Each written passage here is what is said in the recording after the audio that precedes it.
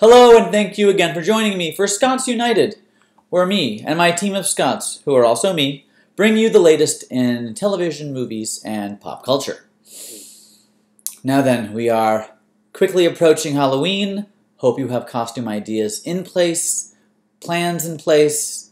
Um, I kind of have my own plan. Margo is all set. Um, she, uh, as far as, uh, as as what she's told me, she's been sewing her little life away. Uh, so, and I and I've also hear from her that she has secured us a special guest for uh, our Halloween uh, show next week uh, before Halloween hits. So, look forward to that. Don't know any more. She won't say so beyond that. There's a special guest that she has booked, um, and that I should be excited. So, hey.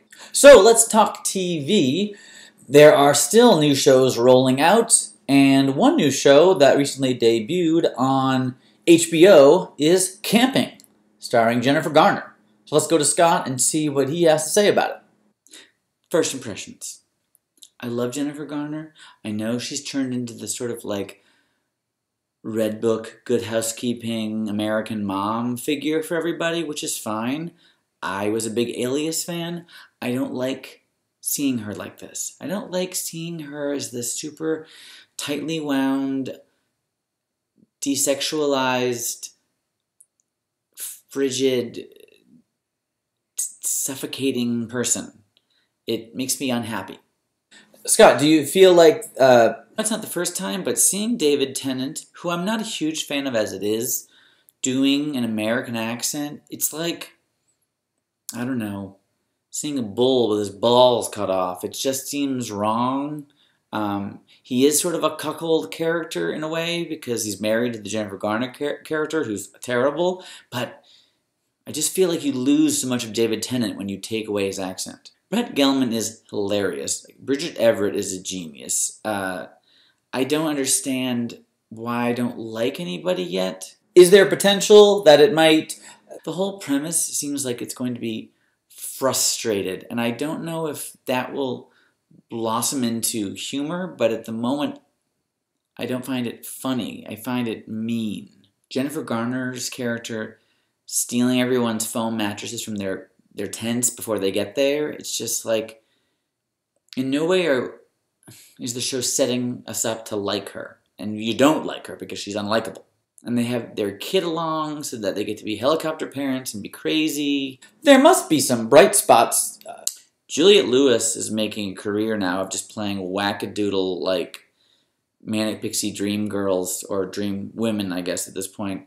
Um, and hey, you know, I give her a lot of respect for being fully frontally naked in the first episode.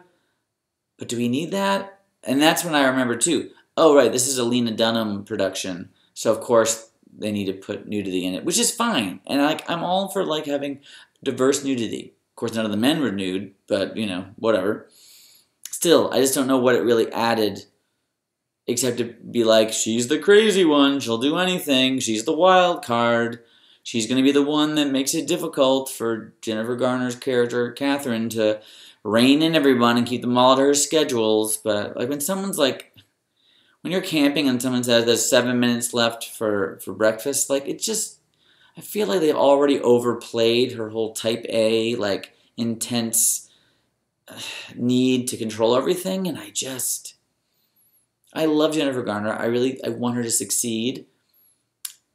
I think I might give this another episode to see if the charm builds, but I don't know.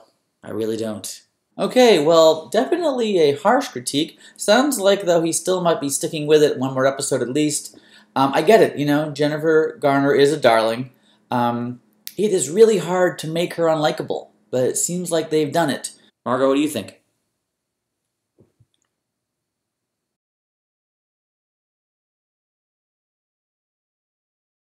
Okay, let's talk the movie world. And, you know, A Star is Born is getting a lot of audiences, getting a lot of uh, reviews, and our own Scott went to see it recently. Hey, Scott. So, last night I went with my sister, and we went to see A Star is Born. And I have to say I'm impressed. Um, is it, you know, a perfect A++? plus? No. Is it maybe a little draggy in the middle? Maybe, you know, Um, there's a lot of themes that Bradley Cooper is trying to kind of work into it, and they're there. Maybe there's a little too much sometimes, a little overstuffed, but uh, you know the timeline is a little bit mm, questionable sometimes. But you kind of go with it. But I think that's sort of the point I felt coming away with it is just to go with it because you really do feel what they've discussed in interviews that they, they just sort of came together as a group and as a unit and they trusted each other. The chemistry between Bradley Cooper and Lady Gaga is really great. You definitely come away that, that this movie was deeply personal for Bradley Cooper. Um, and honestly, you know, and I'm not the biggest Lady Gaga fan. You know, I think she's fine. Um, I've been more of a fan the last few years of hers, but you just see her commitment to the role, and for both of them, some really nuanced, subtle, layered performances and moments that are really just heartbreaking and beautiful. Among a cast full of those kinds of performances, Bradley Cooper definitely, as a director, gave everyone moments that were really just gorgeous. Sam Elliott, by far, has the lion's share of the supporting cast, but Dave Chappelle has a great scene. He only has really one scene, essentially, but it's a great scene.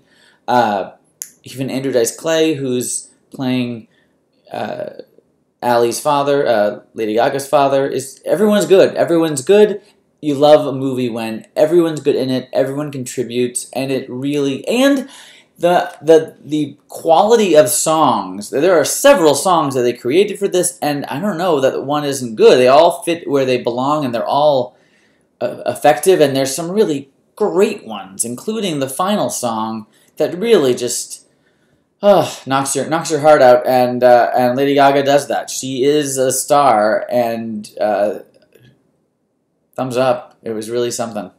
Well, that's all we have for this week. Join me next week when we will have our Halloween episode. I don't know what that means or what will happen. We will have, though, a special guest joining us. I'm keeping the rest. Well, I don't know the rest because Margo's keeping it a secret, but we will have a special guest, so join us then.